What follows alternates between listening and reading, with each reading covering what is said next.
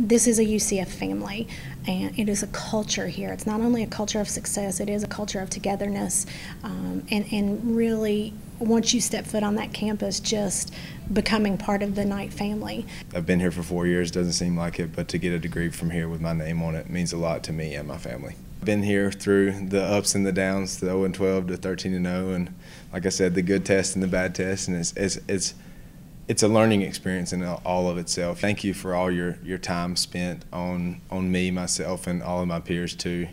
I, I know that that's your job, but you don't have to do it the way that you do, and and the way that you go about things every day, and how you help us. It's it's more than we could ever say thank you for, and we appreciate you.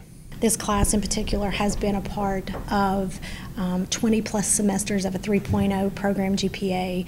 They have the highest graduation success rate in the country of any public institution with 94%. It really is the best thing. It all your hard work being a student, all your hard work being an athlete just coming together as one and it's really something to feel proud of and I'm really glad I got to experience it with all the people around me. Enjoy every little thing enjoy it with your teammates, enjoy it with your coaches, and embrace the good, the bad, the ugly, and just really take in everything that's going on. I really put in the work, and I couldn't have done it without my teammates and my coaches. Again, we talked about their dedication and their hard work, and if they apply those um, traits in their career, their family life, whatever the case may be, um, continue to be true to themselves and, and what has made them so successful.